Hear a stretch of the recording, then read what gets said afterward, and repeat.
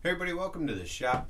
Today I'm going to be working on a custom window valance. Um, I got this order from a customer of mine. Got this really nice rustic home and she's looking for a custom valance for one of her large windows.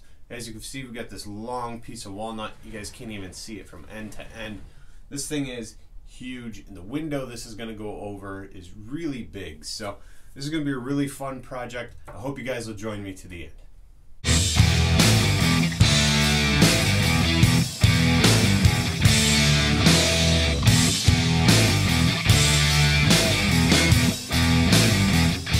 See I've got a few pieces here on the bench already. Um, if you missed what I said a few minutes ago, this is black walnut. This is some really beautiful stuff.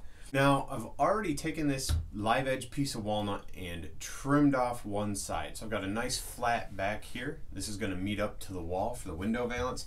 We've got this live edge in the front. Now, when I say live edge, live edge is the edge where the bark is.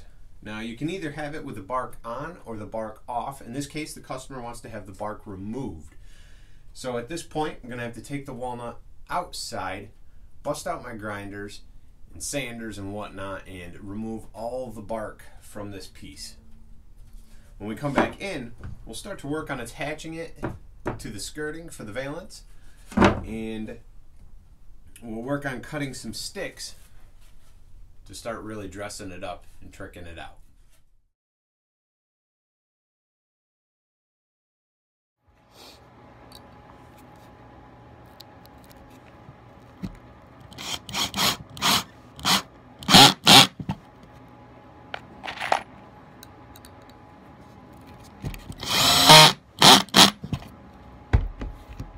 Just doing a quick mock-up on this valance I'm working on. You guys can see here, live edge walnut. Gonna be sitting on top of that box. Gonna be doing a whole mess of stick work. So I realized I didn't show you guys how I attached the skirting to the bottom of the valance here. And as you can see, just pocket holes. Used Kreg jig drill bit, drilled them out, and Kreg screws and just attached it from the bottom on the inside. That way there nothing will be visible once it's done. As you can see down the front, no hardware either.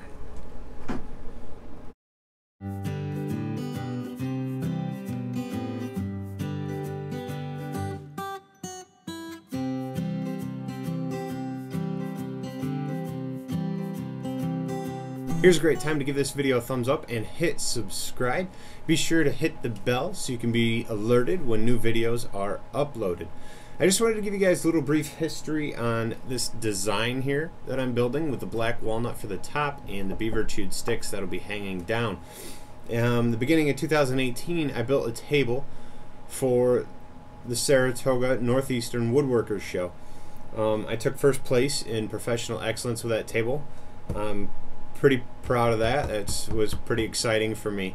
Um, there is a link popping up here, and I don't know, one of these corners. You guys can follow that though and see more on that table build. There was a lot of stick work, lots of work sanding and getting that top to just be perfect, and just the whole design. There, there really was many hours into it. Be sure to check that out. Give it a thumbs up. So the customer came to that show, saw that table, and she said, I love it, but I don't have the space. Instead, I need a window valance. Can you create a window valance that's similar to that table?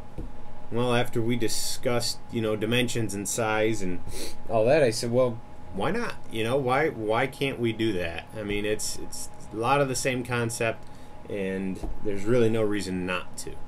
So after our conversation with that, it took, you know, a few months to be able to work this order in with carving orders and some other furniture things I was working on um, till now where I finally got it on the bench here and I'm able to get this thing going. The overall length is 92 inches long. That's end to end on the walnut. Now the inside of the box here is right around 90 inches so it'll fit right over the blinds that'll be hanging down That's the whole point. This will cover where the blinds come all the way up. The, the theme well the idea behind those sticks and the idea of there you're not being able to see any hardware for me is to really just keep this as natural looking as possible you know keep the wood looking natural there will be no stain on this there will be a clear coat finish whether it's satin or gloss just to uh, help with dusting and, and keeping things fresh so I love these sort of projects though because there's so much natural beauty in wood without staining it, without altering it, without carving it. Sometimes it just it's beautiful all by itself. I mean, here's a great example. Bring you guys in really close here. Check out this stick. Don't mind all the crap in the background, except for me to be that Ridgid drill. Those those work really great. Link in the description for that, for the glue, for the Kreg jigs and the screws. Check out my Amazon links. You guys can purchase all that stuff through there, helping support this channel. Back to this stick though right here. See all these marks? None of this is carved by me. This is all carved by beavers. I mean, I'm pretty lucky in the fact that I've got a friend who has some property and they're not so lucky to have beavers that just kind of destroy it. So every now and then I'm able to go and get some sticks when uh, you know the time comes to get rid of these destructive beavers.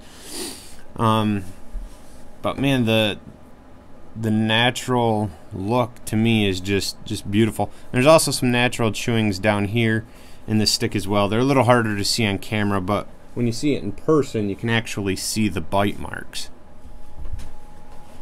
that's really that's really it. Uh, I just kind of wanted to share that with you guys, give you an opportunity to hit subscribe, give this video a thumbs up. I've got to get back to work though. I've got I don't know hundreds of sticks to cut to fill in all this area and maybe a little bit of a design in here as well. So I gotta get back to making some sawdust. Make sure you guys stick around. Well, I got one end of the valance here done with the stick work. Got to keep don't going uh, down the front here and finish up the far end still. It's a good start though.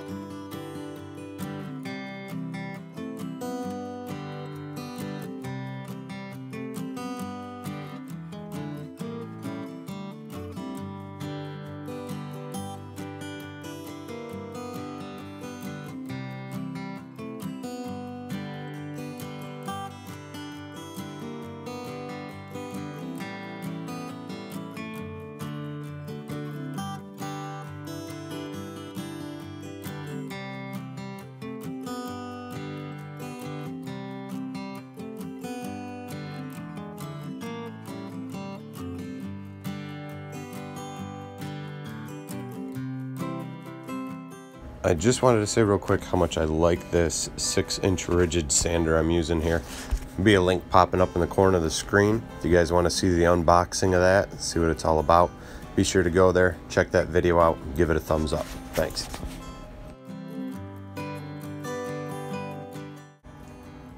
Alright, so don't mind the messy shop, but here is a look at the valance, a little bit closer look. Just got some polyurethane on this whole thing, so time to let it dry so I can come back and do a second coat later.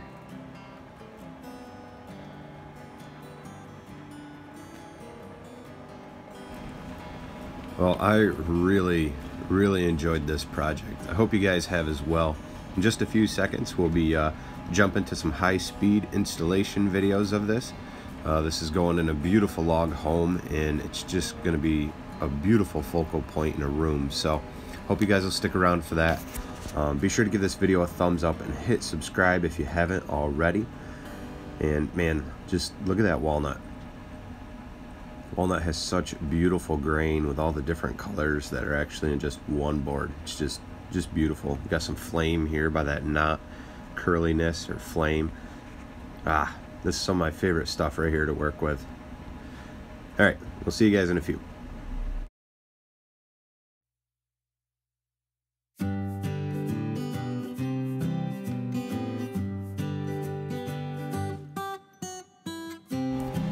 Well, here we are, uh, getting ready and setting up for the installation of this valance in the customer's home.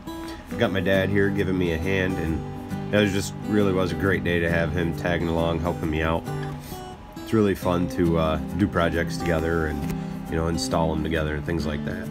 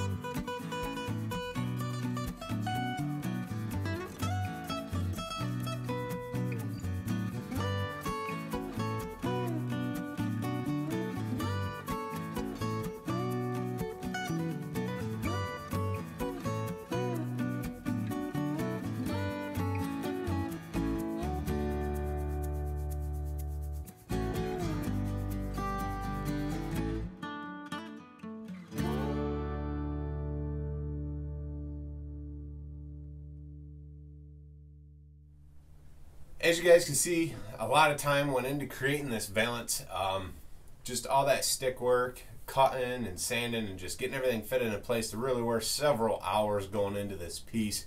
Had about an hour worth of install time as well. So I mean, it was it was a full project start to finish to uh, to create that, but it was a lot of fun. Those are the things I really love to do. Uh, alongside chainsaw carving, but those are the kind of projects I really love to do for customers as well. Um, real quick, I just want to give a shout out to my dad. Thanks for all your help in this video, Dad. I really appreciate it. Thank you.